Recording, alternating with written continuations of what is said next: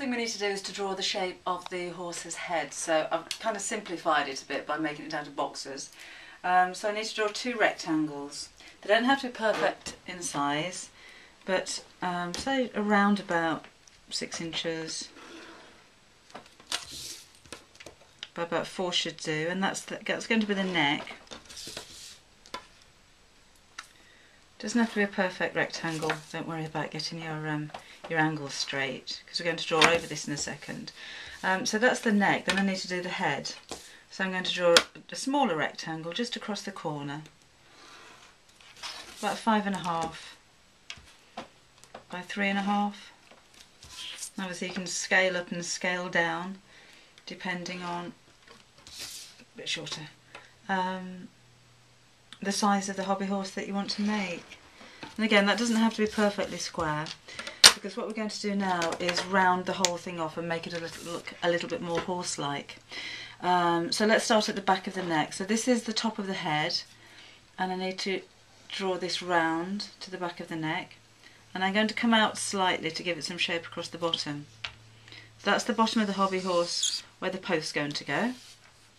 And then on this side I'm going to just angle that in again to give his neck some shape. This is his chin. So down to the bottom of the chin, just keep that round. Then on the top of the head I'm going to keep the, the roundness and just give his nose some shape, like so. And I think that looks pretty horsey enough. So I'll just cut out the shape of my template.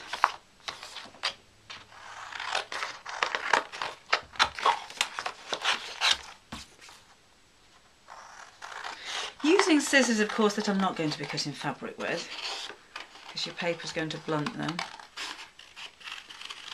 So just keeping his nose round and in. Just top of the head and just roughly down the back of the neck. There. Now I'll need to take two pieces of my main fabric and I'm going to use a strawberry pattern fabric. Turn it over onto the reverse because I don't want the pen marks to be seen on the outside of the fabric. And just fold that over enough so that I'm not wasting too much. And then simply draw around the outside of my template.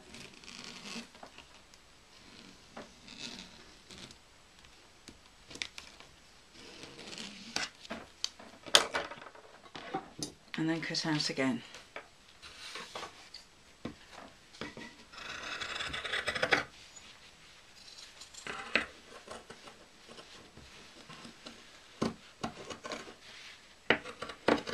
Matter if I'm not perfectly within the lines because this isn't a, a true representation of what a horse looks like.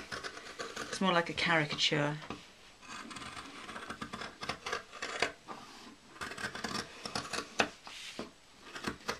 and save the leftover fabric because we're going to have some ears to make later on.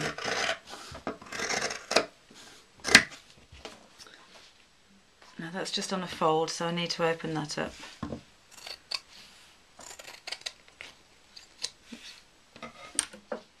So there's my horse. The next thing I've done is to cut a strip of fabric which I'm going to use as a gusset and that's going to in effect go all the way around from the two bottom sides, not across the bottom. So I'll cut off the selvage and sew the first sides together face to face with the fabric and I'm just going to use a running stitch to go all the way around the edge.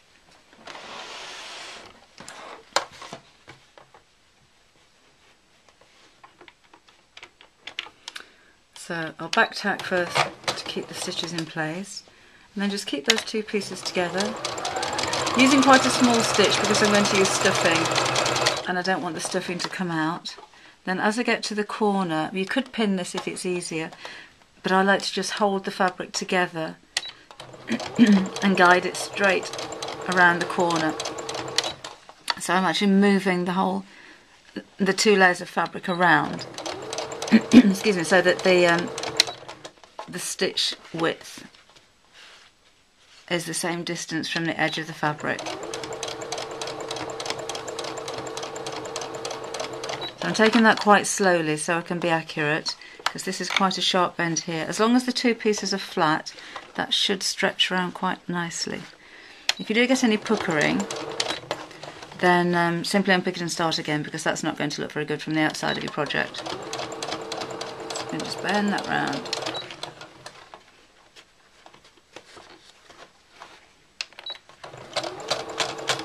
Nice and flat.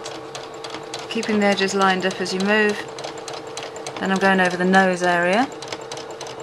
So this needs to be bent in the opposite direction.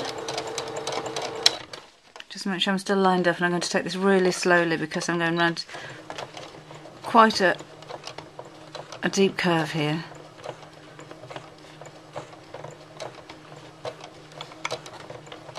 Try and keep those two pieces flat.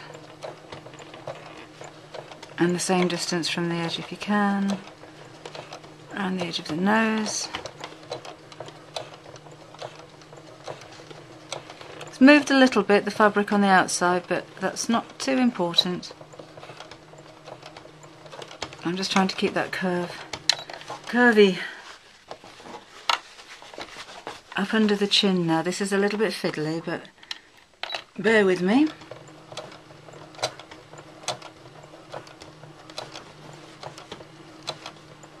And then guide around underneath the chin.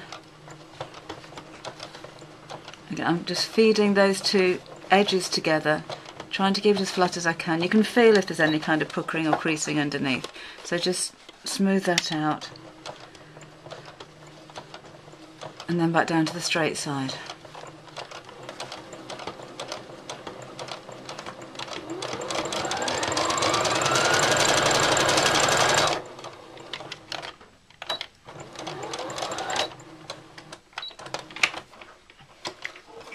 So, that's what the one side looks like. So when it turns the other way around, I've got the side of my horse's head, and then this is going to be the gusset. So I need to do exactly the same now on the opposite side. So face to face again, I'm going to start at the same point at the back of the neck, so I know that my two sides are lined up evenly. And again, back tack and stitch all the way around.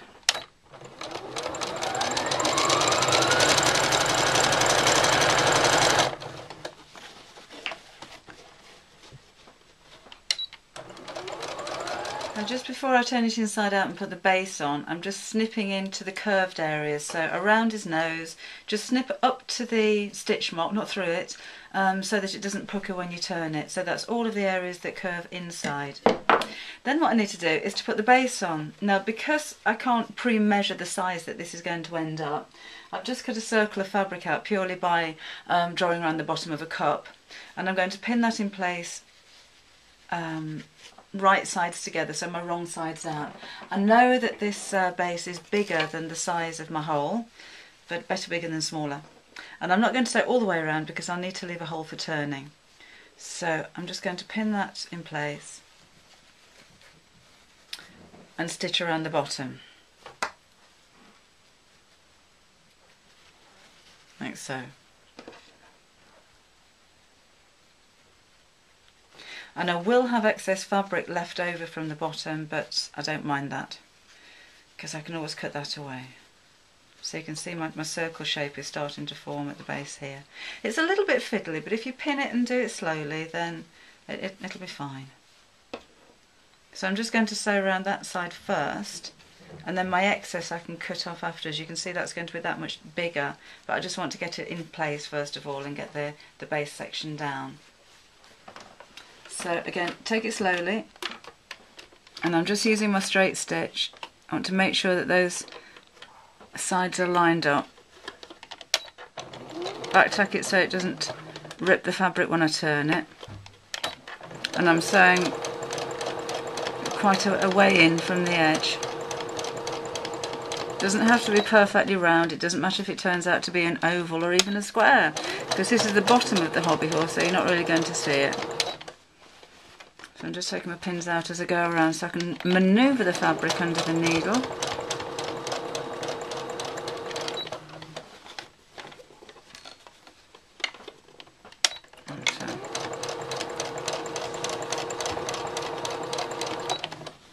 and remember to leave a gap so that you can turn it.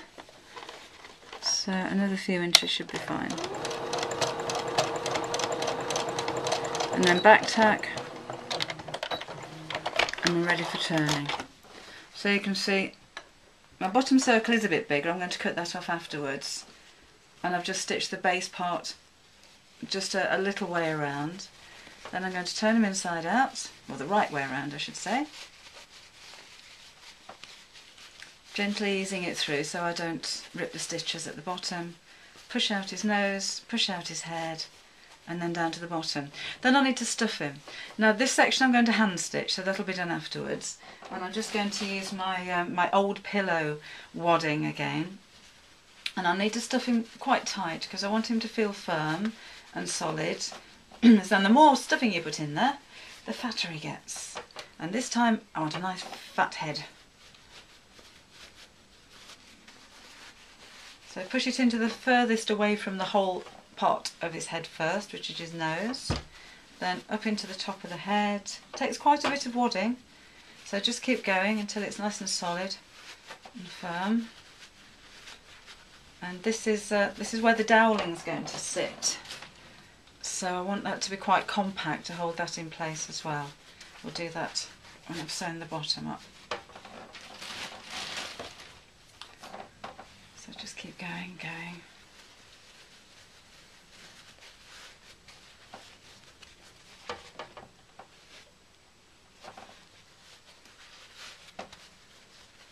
Nice and firm. Make sure it's not lumpy. You can move the, the wadding around so it gets a nice smooth finish. And just keep packing that in until it's solid all the way down. And I think that should do. Now what I need to do, remember my circle at the bottom was a little bit bigger, that's fine. I need to tuck that in and then I'm going to hand stitch just to finish off across the bottom. And I'm going to use um, a ladder stitch so hopefully you won't be able to see it. So I'm just going to start off the thread underneath so you don't see where the knot is. Third time lucky. and there will do. And just go over there a couple of times to secure. If you get a knot, just try putting the needle through the loop of the knot and pulling it from side to side. And that should stretch it out. So that's nice and secure. And then I'm just going to guide the base attach it to the neck with a ladder stitch. So when you pull that together it meets. And if you use the same colour thread then you shouldn't be able to see those stitches. Keep the stitches as small as you can and if you can emulate the size of the machine stitching when you sew neatly it shouldn't look any different to the machine. Now you can see how again I'm just tucking that under so I get a nice flat base so it fits properly and that's one of the advantages of having the base cut a little bit bigger because uh, you just know that it's going to meet. You can fold it in and make that perfect. And then when you've stitched it, then you'll need to press it. So I'll just carry on and finish off this.